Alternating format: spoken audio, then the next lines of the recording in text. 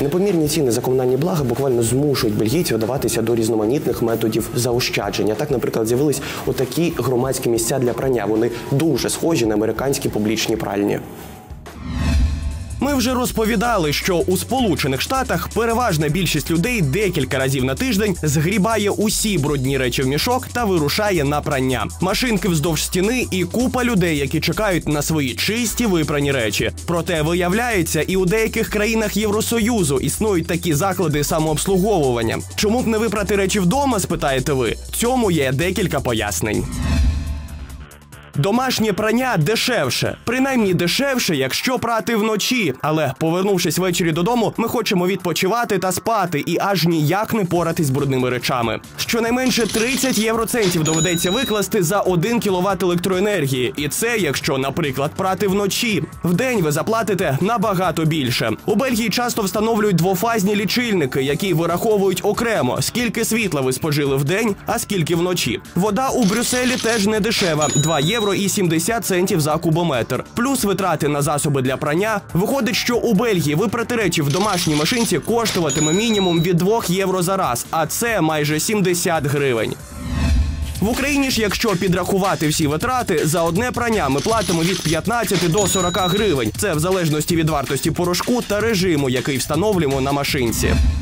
Втім, є й більш логічна причина тяги до громадських пралень. В усіх європейських країнах новобудови зводять у спальних районах подалі від центру, і там є змога встановити пралки. В діловому ж центрі даунтауні здебільшого будинки, які пережили кілька війн. Встановити машинки для прання у них вдається не завжди. Або немає вільного місця у квартирах, або каналізація фізично не може витримати такого навантаження. Во-первых, старые дома, вот я живу в доме 19 века, конца 19 века, но меня там провели, провели, нашли возможность, провели стиральную машину.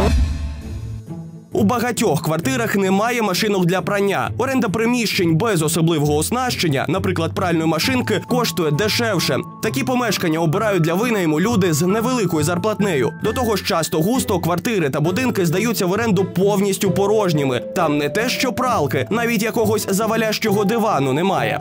Дом мы сняли, был абсолютно пустой, нужно было его обставлять. Это нормальная практика не в Брюсселе, в Бельгии, ну и вообще, я знаю, в Европе. Но вот в Бельгии, в частности, ты снимаешь полностью абсолютно пустое жилье.